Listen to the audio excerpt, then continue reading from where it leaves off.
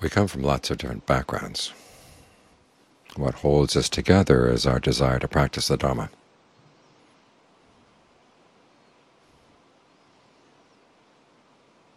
A couple of years after Ajaan Fuang passed away, a group of people came from Bangkok and they asked me, Are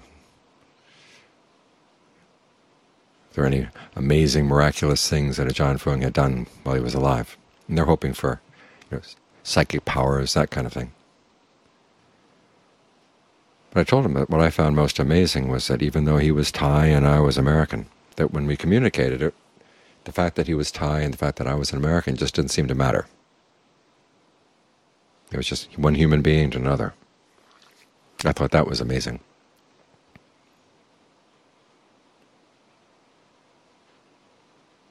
And it wasn't just with the Ajaan Fuang. The people who came to the monastery, especially when we were working together on building the jetty, building the Buddha image. There's a very strong sense of extended family.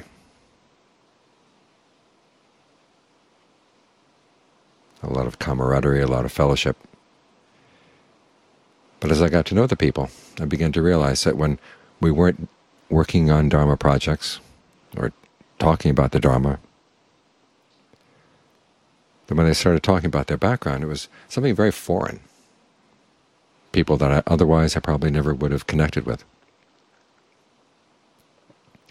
But it was the fact that we were able to step out of our backgrounds and look at them from the point of view of the Dharma.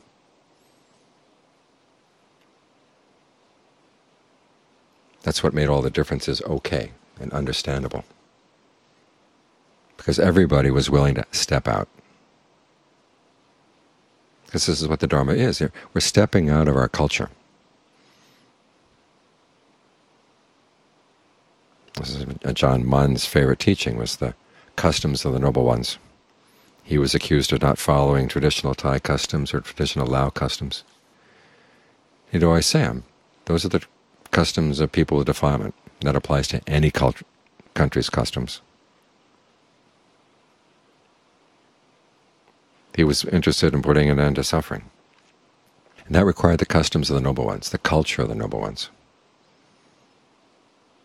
Because after all, the problem of suffering is something that is pre-cultural. Even before we know we have a culture, we're already experiencing pain, getting upset, physical pain, mental pain. You come out of the womb, and there it is, pain. And it's a problem we've been relating to ever since then. And so the extent to which we focus on that as our priority, that's what brings us together. The Buddha did have an appreciation of diversity, but the kind of diversity he appreciated was that of diverse talents. He has a list of his preeminent monk and nun and laymen and laywomen disciples. And what he points out is that each individual has a particular kind of talent and they have something to offer to the group. That's distinctive. But it's all for the same purpose. And so here we are, coming from many different backgrounds ourselves, different parts of the world, different strata of society. What puts us together is the fact that we have this common aspiration, this common goal. We want to take the Buddha's analysis of suffering, which is the same for everybody. He focused on what we all have in common in terms of why we're suffering. We may be clinging to different things, but the clinging itself is the problem. And the dynamic of clinging and the dynamic of putting an end to it, it's the same for everybody. There are minor differences in terms of the particulars of your clinging. And these are things that we all have to work out for ourselves. But the basic structure is the same, and this was the Buddha's genius. He came from a particular strata of society, Indian society, noble warrior class. But his analysis of suffering and the causes of suffering, the end of suffering, had nothing to do with India or noble warrior caste. Just the way the mind works. So as we focus on this, is what, what keeps us working together, coming together. It's one of the factors that the Buddha talked about is how a group stays together. We look at our society now and everything seems to be tearing apart. And it's good to think about how we stay together. There's six qualities in all.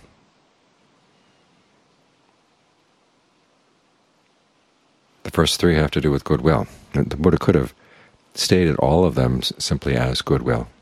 But I think he wants to emphasize goodwill, goodwill, goodwill. This is what underlies everything. A wish for true happiness, a wish that everybody can find true happiness. He says you express goodwill in your actions, and you express goodwill in your words, and you express goodwill in your thoughts.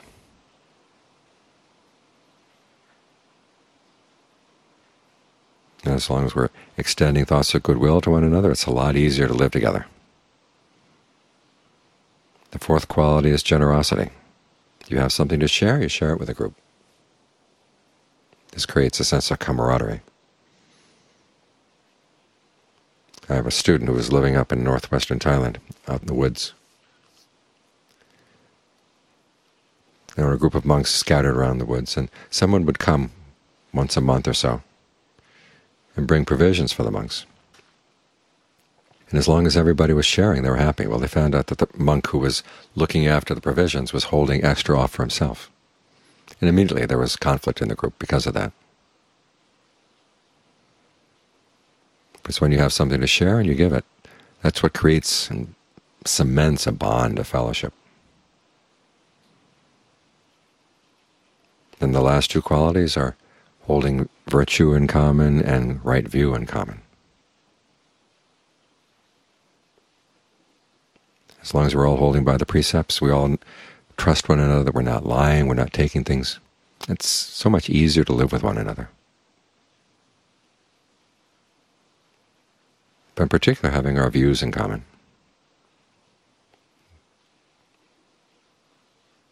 Starting with the views on the Buddhist teachings on karma, that you do have choices, and different actions have different consequences, but they do have consequences. So you want to be careful about how you act. That's the essence of right view right there.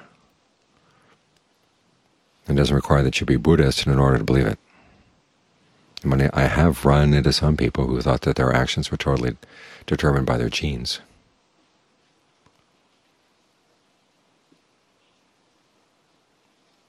But if you want to live together, you have to realize, you have to admit, okay, I do make choices, and my choices are going to have consequences, so I better be careful. And as long as everybody shares that view together, we can live with one another. Basically what it comes down to is we all have the same goal in common. We're trying to head to the same place, to the end of suffering. The Buddha talks about people who are born in darkness, people who are born in brightness. People go in darkness and go in brightness.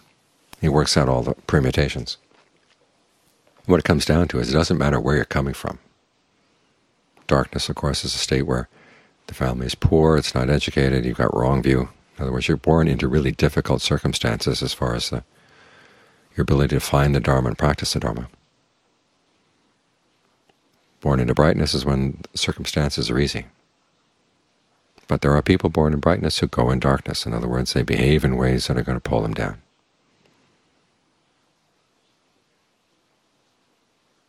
And there are people who are born either in brightness or darkness or going in the bright direction, observing the precepts, training the mind. And that's what matters. It's where you're going that matters. As the Buddha said, his teaching is essentially a path. And the image of the path means basically that. We're going someplace.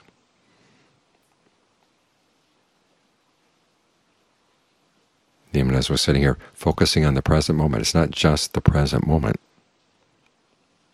That's at stake here. It's what comes afterwards as well. There are ways of finding happiness in the present moment that are going to be okay for the present, but they're going to turn into something else down the line. You don't want those.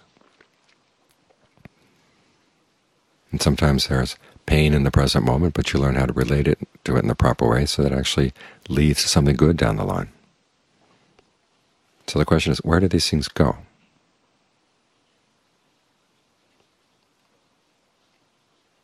That's what we're focusing on. And it's having a sense that we're all heading in the same direction, that's what enables us to live with one another. We're trying to put an end to suffering. We're trying to see our sufferings, the particulars of our sufferings, within the framework that the Buddha provided. And when we have that common framework, that enables us to live with the differences that we have. So they're there, but they don't get in the way.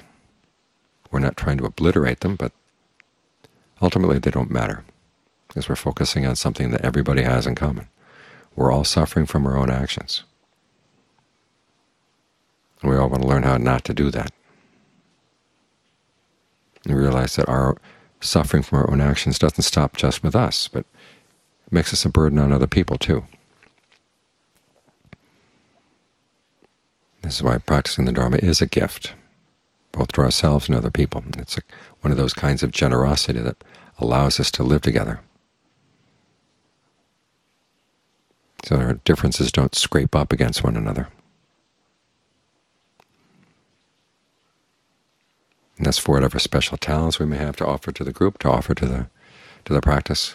They're all welcome. Because we're all headed in the same direction.